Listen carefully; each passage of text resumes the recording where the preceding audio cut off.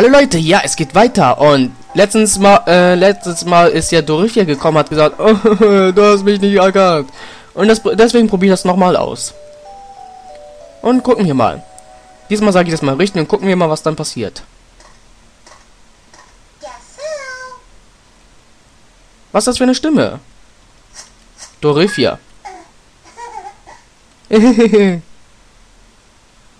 Freu dich. Was? Ähm, was zum Teufel war das jetzt? Warte, ist sie jetzt extra zu mir gekommen zu sagen, ich liebe dich? Oder was los? Ach so. Ähm, ja. Also Dorothy hat gesagt, dass sie mich liebt. Warte, wie viel Mana hab? Ah, fick dich. Mann, ich brauch Mana. Ah, ich sagte Mana, äh, MB.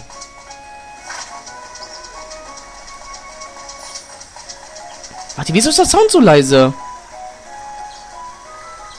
Wartet mal. Spiel. Ähm. Okay, das kann man nicht einstellen. Der Sound ist irgendwie leise. Warte, ich gehe erstmal zu Dorothea. Guck mal, was sie. Warum sie das gesagt hat. Wieso hat sie das gesagt zu mir? Ich verstehe es nicht. Ich will meine Erklärung von ihr wissen. Warte, jetzt haben wir einen gerettet, aber Uhr haben wir, aber warum passiert das nicht bei den anderen? Okay, ich muss dann für alle das machen. So, so, so. Ey, Faldo! Du bist es. Reden. Okay, da sagt nichts mehr reden. Dieses zu verdanken, das kann er... Okay. Warte, erst machen wir bei ihm mal. Zu gucken, was er alles mag. Vielleicht gibt es da uns eine Mission oder so. Er mag Brillen, okay. Zeigen. Waffen. Schwert. Und redest jetzt? Nee. Ach, scheiße, falsch. Und zeigen. Ah, leck mich. Boah. Okay. Was jetzt, was soll ich jetzt machen? Es gibt nichts mehr, was ich alles eigentlich machen kann, außer Heave zu machen. Und diese ganzen Geister zu befreien. Das muss ich alles noch machen. In diesem Part und den nächsten Part, die wir bei Part 95 alles fertig haben. Okay, ich gehe mal jetzt wieder schlafen. Vielleicht kommt dann was, vielleicht auch nicht. Sehen wir mal. Vielleicht war es auch Zufall, dass es sowas passiert ist. Warte, Rempo. Mit dem waren die auch lange unterwegs, deswegen... Äh, ja. Ich will mal Rempo wiedersehen. Mit dem waren ja am längsten. Vielleicht passiert dann jetzt was. Oh, ein Update ist gekommen. Zum seht ihr das nicht. Zum Glück. Also ich gehe wieder pennen. Und was kommt jetzt?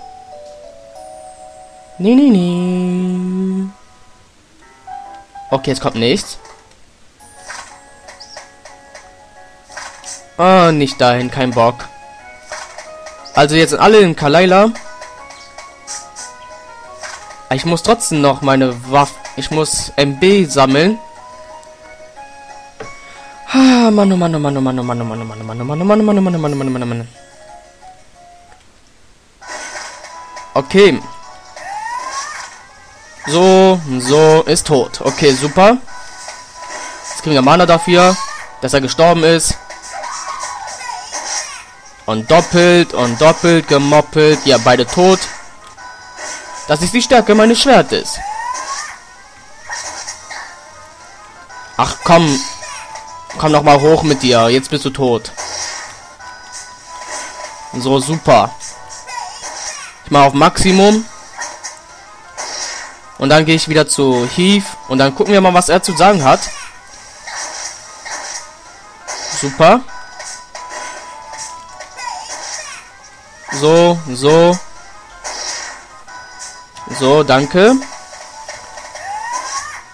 Nochmal und nochmal und Dankeschön. So und so und dadam. Hier kann man echt nicht so viel sagen, weil... Ach, du bist ein dummer Fettsack. Ja, weg mit dir. Schwachkopf. Okay, wir haben das erledigt. Jetzt haben wir genügend Mana. Oder Mystikpunkte. So ist die, oder? Keine Ahnung mehr. Gucken wir mal.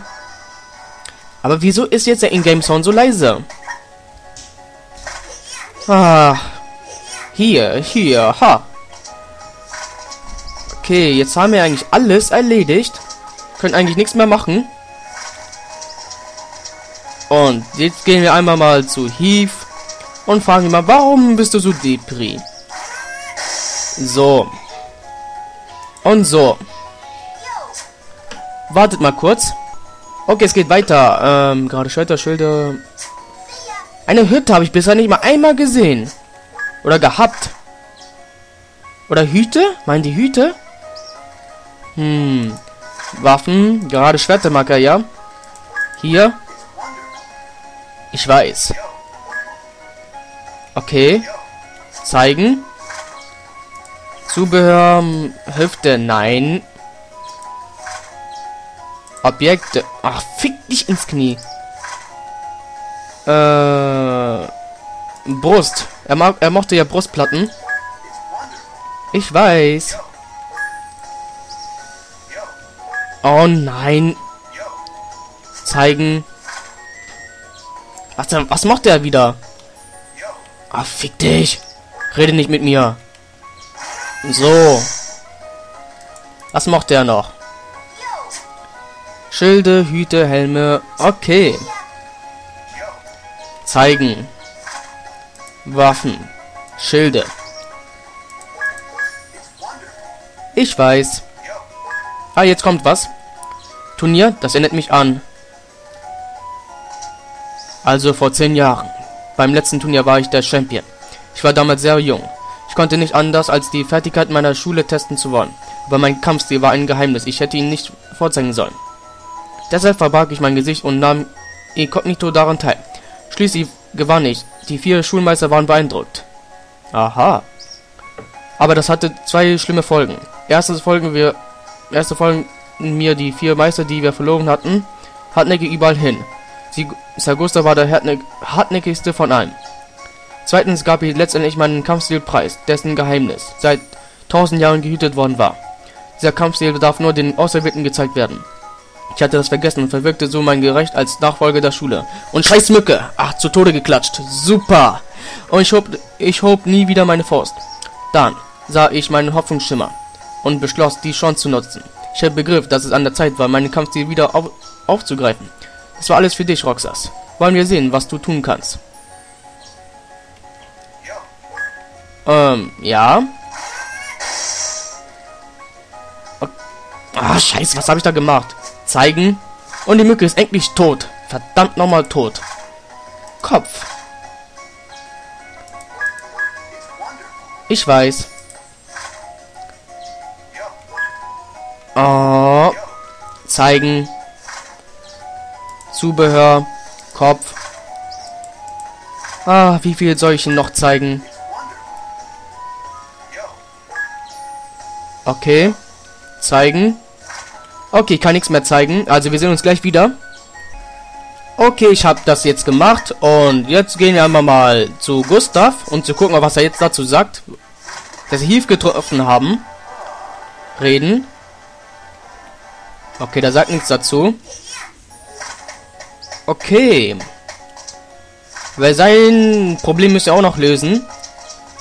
Von Heath. Und ich will alle Geister äh, ihre Siegeln brechen, aber wieso kam das nur von Uhr? Ähm. Ach, scheiße. So. Und gucken wir, was er macht, was er wieder mochte. Brustplatten, gerade Schwerter. Okay. Zeigen. Waffen. Schwerter. Das war gerade. Er nimmt es einfach, okay? Ah, es kommt. Danke, dass du vorbeigekommen, dass du vorbeikommst, Roxas. Ähm, schau mich nicht so an. Ich habe eine besondere Bitte an dich. Es geht um Prinz Faldo. Es ist, er ist sehr schwach geworden, nachdem er seinen Körper für so lange verloren hatte. Ich will ihm helfen, aber dazu brauche ich ein geheimes, geheimes Elixier. Und ich weiß nicht, wo man das am besten ein, wo man am besten ein Elixier finden kann. Ich könnte schwören, dass ich es schon einmal irgendwo in Rohren gesehen habe. Bitte, kannst du bitte dieses Elixier besorgen und es mir geben? Und wo soll dieses Elixier sein, du Fettkopf? Ey, Mann. Ey, willst du mich irgendwie verarschen? Wo ist das Elixier? In Rohren, aber wo? Warte, beim Baum? Achso, ach nein, boah. Ah, okay, hier ist es nicht.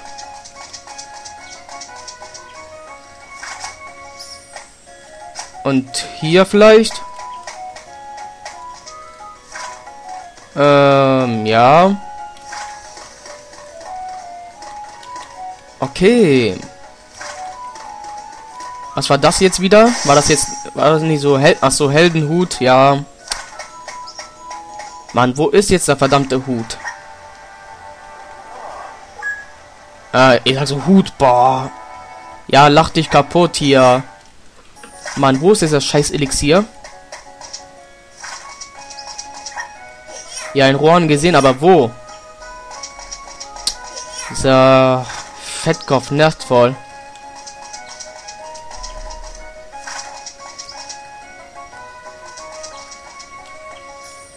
Ähm, ach so, ach so, okay, okay.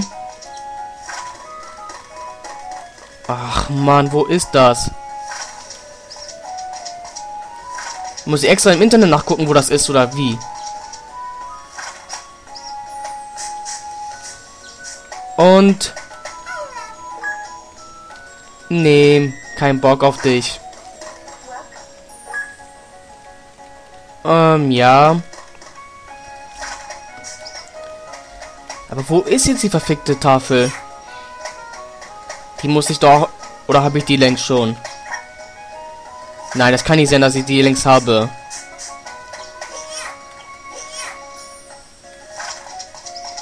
Okay. Okay, wo zum Teufel ist jetzt die Tafel? Mann, wo ist die Tafel? Warte, reden wir nochmal mit ihm. Dass ich einmal irgendwo in Rohren gesehen habe. Ja, in Rohren, aber... Mann, ich mag dich nicht. Warte, was ist da oben? Ach so, das haben wir einmal untersucht. So.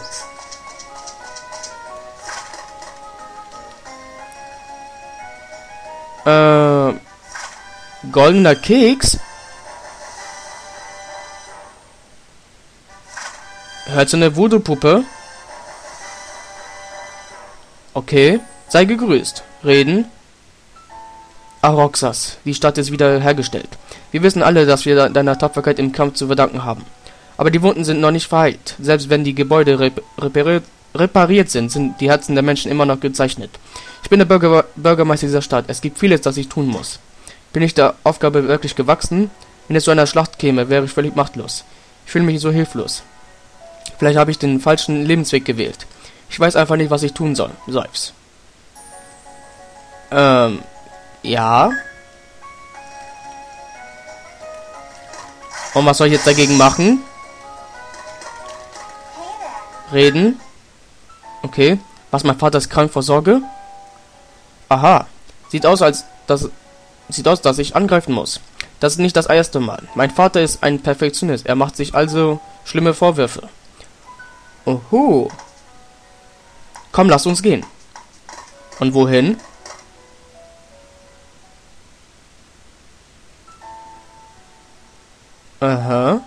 Okay, der ist wirklich ein Perfektionist. Vater? Sylvie, was ist hier los? Warum sind alle hier? Oh, große Big Family Versammlung und so. Aber erst im nächsten Part. Tschüss.